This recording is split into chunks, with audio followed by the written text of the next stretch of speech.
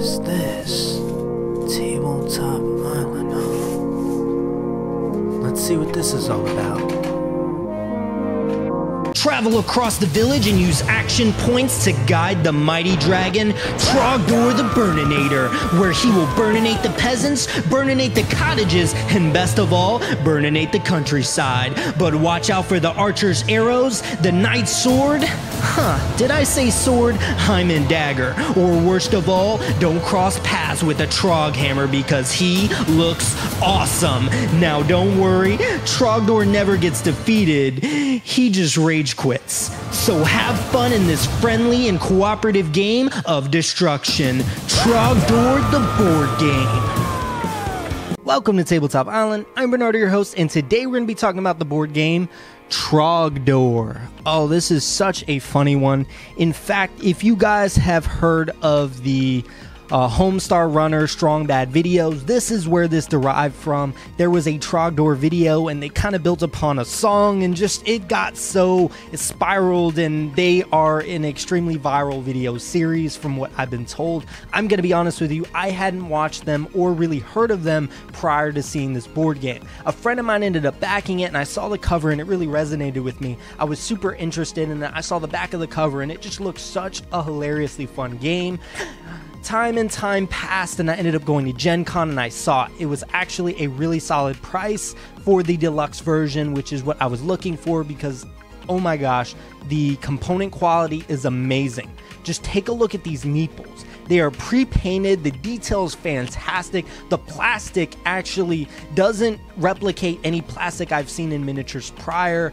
Um, if you guys have the game and you can think of a game that really reminds you of these types of meeples, I'd be really interested because I think the quality is fantastic. Now, if you don't get the deluxe version, you do still get these really nice wooden meeples, so don't get discouraged too much if you don't want to pay the heavier price for the nicer meeples. You even get kind of a bonus stacking game here too, which is just a fun little added bonus. And the, there's these meeples too of the Homestar Runner characters. Also, you can take a look at their website as to where to buy it. I'll have a link in the description where you can get this game and kind of compare prices if this sounds like the kind of game for you. Again, I hadn't heard of the whole Strong Bad Home Runner series, um, Homestar Runner series, um, but that didn't take away from my enjoyment of the game. I find it to be completely wacky, ridiculous, and hilarious all at the same time, including the flavor text on the cards itself. But let's take a look at the components. Again, much like I stated, everything is just top notch. Even the little cottages here have this really nice mechanism to where when you end up burninating the cottages itself, you rotate the cottage's roof and it has a fire burned um, burninated section underneath it. Oh, that's so cool. And then you have the peasants itself, which add the fire on top of their head whenever they're burninated. Even have these really nice tiles. There's 25 of them. The thickness is fantastic. Just the overall quality is great. You have the regular side, and then when they ended up getting burninated, you flip them over to the burninated side. This reminds me a little bit of Dragoon. Um, the gameplay is entirely different. It's just the tile kind of piece there reminds me a little bit of that too. But let's talk a little bit about the gameplay. So you have Trogdor. Now, this is an entirely cooperative game one to six players, which, yes, it is a solo game too, because the um, kind of villains or the opposing um, bad guys in the game are AI activated. So all of their movements are activated by a card, but we'll get there. So you're taking Trogdor on each one of your turns. You have a character with its own ability. I'll let you guys take a look at the abilities if this seems like the kind of game for you. You are first starting your turn by drawing an action card, and then you're playing an action card. Now, with the action card, it gives you a certain amount of action points, which allows you to take actions. I know that sounds like a big tongue twister. I'm sorry. You're moving your guy. That's that can be one action. Moving to a tile, burninating a tile, which could be an action. Chomping on a peasant, that could be an action. Which when you actually eat them, it goes to your health track. You start off with four, but then it adds health to your board itself. Whenever they get removed as damage, then they go to the void, which they will never come back.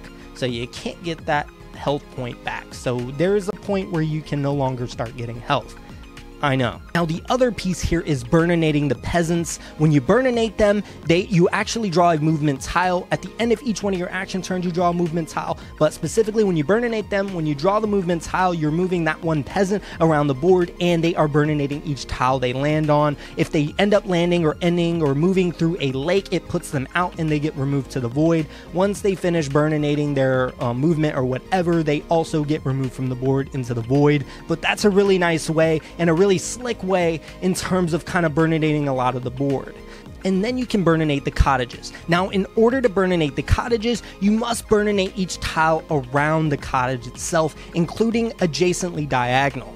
Now, once you do that, you burninate the tile the cottage is on, and then the cottage itself. It, it, sounds like it would be really easy, but it's not. So at the end of each one of your um, kind of action turns, then you have movement. So you can move the knights, which can hurt you when they pass through you, the archer, which if you're on either side of them, they can kind of shoot their arrows and shoot damage to you also. And then when you end up revealing action cards that show the Trog hammer and he hits the board, he can also do damage to you too.